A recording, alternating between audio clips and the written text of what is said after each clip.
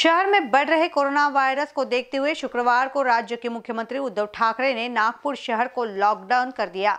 यानी दैनंदिन वस्तुओं को छोड़कर सभी दुकानें आगामी 31 मार्च तक बंद रहेंगी। मुख्यमंत्री के इस आदेश पर शहर के नाग विदर्भ ऑफ़ कॉमर्स ने चेंबर की ओर से सभी सदस्यों को दुकान बंद करने पर पत्र भेज दिए है और कहा है कि कोरोना से लड़ने के लिए हम शासन के साथ है। चैम्बर ने भी आज तकरीबन दो बजे अपने तरफ़ से सर्कुलर निकाल के सभी व्यापारियों से आह्वान किया है कि अत्य आवश्यक जो जीवन वस्तु चीज़ें उनको छोड़ के सभी अपने प्रतिष्ठान वो बंद करें। इकतीस मार्च तक सरकार और जिला प्रशासन के निर्णय का वो समर्थन करे।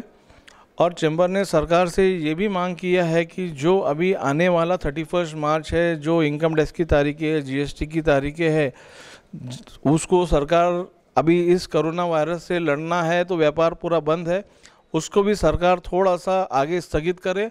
और हम चाहते हैं कि जो ईएमआई के चेक लगने वाले हैं लोगों के, उसके भी तीन महीने तक स्थगन दिया जाए और जो इंटरेस्ट बैंकों में लग रहा है, उसके भी कुछ संज्ञान लिया जाए।